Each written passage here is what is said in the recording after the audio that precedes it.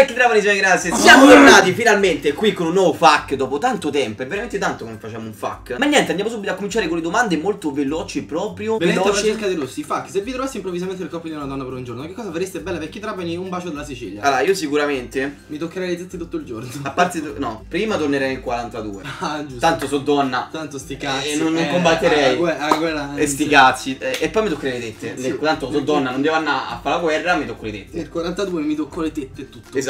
Cosa chiede a San Gennaro? Sono giapponese. Michele Fiorella ci chiede la domanda è d'obbligo. In quale epoca saresti voluti Cioè, nascere, è- vivere, è- nascere? È un bel video. sì, è tutto su Miss Italia. No, sì, io no- non il 42. Dove sarei? Io, sinceramente. Io nel Medioevo. Che l'epoca più brutta della storia No, dell'uomo. Io invece nel Medioevo. Io Vabbè. sinceramente nel Medioevo. Io invece. Lui tra tipo 150 anni, 200. No, io invece, infatti è strana come cosa, sarei voluto nascere fra qualche migliaio d'anni. Cioè, sapete che figata con tutta la tecnologia come è andata avanti e tutto quanto. Cioè, tipo, avranno inventato chissà quante cose che oggi neanche ci immaginiamo.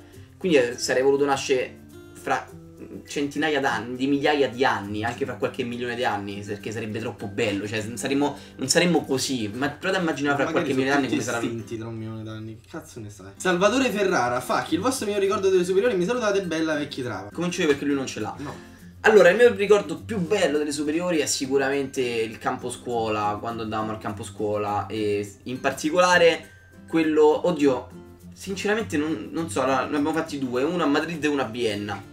Forse è stato più divertente quello a Vienna, nonostante Madrid sia stato più bello perché ovviamente la città è, più bella, abbiamo visitato più cose.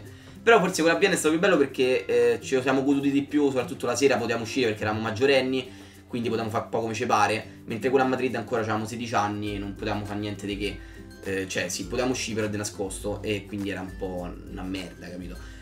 Perciò eh, tornavamo veramente a Vienna tutti i giorni ubriachi, andavamo a bere, la mattina ci dovevamo svegliare alle 7, infatti è stato lì, è lì che ho perso le mie energie e adesso... E sta ancora recuperando. Sto ancora amico. recuperando, sì, perché tipo tornavamo alle 3 ubriachi fraci che poi alle 7 andavamo per chiese, cioè... Lasciate poi per perdere. chiesa è fantastico, mamma mia. Ubriaco in chiesa. Vabbè, puoi dire di essere stato ubriaco in chiesa. Io sinceramente non mi è venuto in mente un cazzo perché dei superiori non c'ho nessun bel ricordo. Quindi posso dire lo scambio culturale che ha la Germania, ma mi ha fatto cagare pure quello. Quindi, boh, giusto il quinto forse perché è proprio, cioè, tutto un bel ricordo perché ero consapevole del fatto che era l'ultimo anno, quindi basta. E Eh, canne in bagno. Forse sì, dovresti, forse dovresti andare fai? medioevo, così a scuola non ci andavi. Lo sai. Dici. Mm.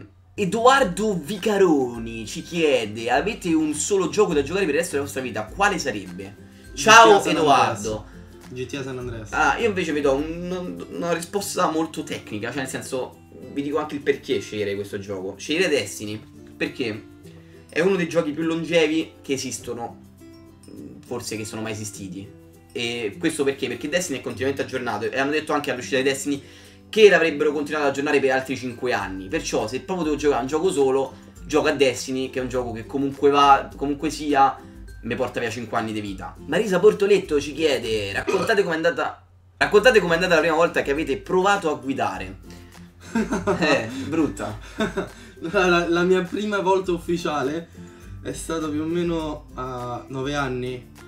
9 anni. Sì, no, no, 9-8 anni, non mi ricordo. Comunque stavo. Ma volete la penna di YouTube? Va, regalo. Vabbè, e stavo a Nettuno dai parenti di mia zia. E perché si guida Nettuno? Perché non c'è Nettuno, quindi Nettuno ti, ti può, ti può fare la multa, ecco. in pratica c'era, c'era sta villetta e c'era la stradina che poi portava alla strada, no? Però sta stradina era sterrata e ai lati c'era tipo quei canalini per far scorrere l'acqua comunque di terra. In pratica c'era tipo due piccoli dirupi, ma piccoli. E io ci sono andato dentro con la macchina, la macchina è rimasta così. che taglio. Poi vabbè, quando Ah, ho invece- 18 anni ho preso la patente di Cristo. Sì, la mia prima volta invece è stata, cioè, non mi hanno quasi mai fatto guidare prima di prendere lezioni di scuola guida, però ho guidato ogni tanto quando mi faceva guidare mio fratello e diciamo che andava abbastanza bene. Però la, la vera prima volta ufficiale è quando sono andato a scuola guida e lì eh, non so perché ho fatto una figura di merda rara, perché io sapevo come se più o meno si faceva a far muovere la macchina. L'istruttore mi fa Sai più o meno i pedali come sono senza che ti spiego? Sì, sì, tranquillo, cioè, De Cristo si fa una canna, io ho detto. Fa, ok, partiamo. io metto i piedi sul, sul coso, eh, mi fa piede sulla frizione e piede sul freno. E poi piano piano l'acceleratore. Ok. Accenda la macchina, piede sulla frizione e piede sull'acceleratore. Si vede la macchina fa. e parte tipo avanti. Fa, si è fatta due metri. Per fortuna il parcheggio dove stava era abbastanza. Cioè la macchina stava abbastanza avanti. Se no avevo già fatto un danno. e manca era partita la lezione. e già ho preso la macchina davanti. Poi però a posto, ho preso la patente. E adesso sono tre anni e passa che ho la patente. Sono quasi quattro anni io. No, non è vero. No, sono Tre anni e qualche mese. Sì. Avete mai rotto qualche oggetto mentre giocavate? Allora, io dovrei fare Eh, una madonna. lista che non finisce più. Ho rotto esattamente. Due joystick della PlayStation 2, quattro della PlayStation 3. Ah, ma tu intendi, intendi la play? Io intendo proprio che giocava a palla dentro casa. Io, io penso, io giochi così. no, sì, vabbè, eh, fin- finisce più poi. Io so di giochi mentre giochi console, giochi comunque giochi Ah. con la console. Quattro joystick della PS3, ho spaccato tre dischi, de- me- uno era FIFA, uno era God, e l'altro non mi ricordo qual era. Ho spaccato un armadio, ho spaccato il vetro di una porta, c'ho ancora la cicatrice. Eh, ho sfondato un, un mouse mentre stavo a giocare al PC, una tastiera. Ho Tipo, spaccato- sì, quello là. bravo, uguale, ho preso e l'ho lanciata per terra. Ho sfondato eh, il PC portatile, cioè l'ho proprio rotto. E ho anche rotto tutto il comodino che c'avevo in camera a forza dei Ma invece io giocavo da piccolo giocavo a palla dentro casa e poi mia mamma gli è venuta in mente la cosa, cioè, allora, all'inizio giocavo a palla normale. Ogni tanto andava su qualcosa che stava sull'armadio, cioè sul mobile, e quindi cascava qualche coccio del cazzo che mia madre ci aveva. Infatti ho detto che cazzo li compri a fare i cocci? E mi diceva, vabbè, però qualcosa dentro casa ci devo pure mettere.